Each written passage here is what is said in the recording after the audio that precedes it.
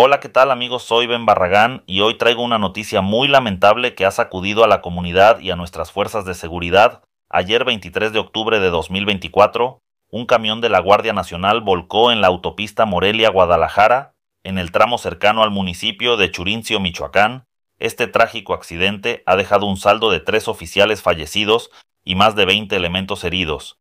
El accidente ocurrió mientras los elementos de la Guardia Nacional realizaban sus labores de patrullaje en la zona. Según los reportes en el lugar del incidente, fallecieron dos oficiales mientras que un tercero perdió la vida en el Hospital Regional de Zamora, donde estaba siendo atendido de urgencia. Otros compañeros heridos también fueron trasladados a hospitales cercanos, y debido a la gravedad de sus heridas, algunos fueron evacuados en helicóptero a Guadalajara para recibir atención especializada.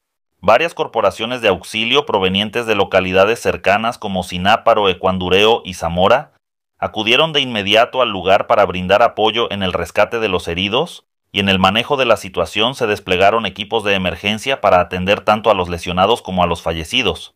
Sin embargo, hasta el momento no se han dado a conocer detalles oficiales sobre las causas de la volcadura y se espera que en las próximas horas la Guardia Nacional emita un comunicado con más información sobre lo sucedido, este hecho ha generado un profundo pesar no solo en las fuerzas de seguridad, sino también en la comunidad en general, ya que pone en evidencia los riesgos que enfrentan los agentes de la Guardia Nacional en su labor diaria. Estos hombres y mujeres se enfrentan a situaciones de alto riesgo en su esfuerzo por mantener la seguridad en las regiones más conflictivas del país.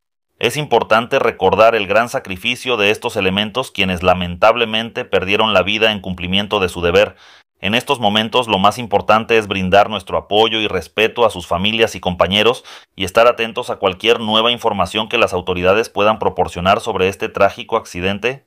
Amigos, sigamos reflexionando sobre lo que ocurre en nuestro país y el papel crucial que juegan nuestras fuerzas de seguridad. Mantengámonos informados y conscientes de la situación. Nos escuchamos en el próximo episodio. Hasta pronto.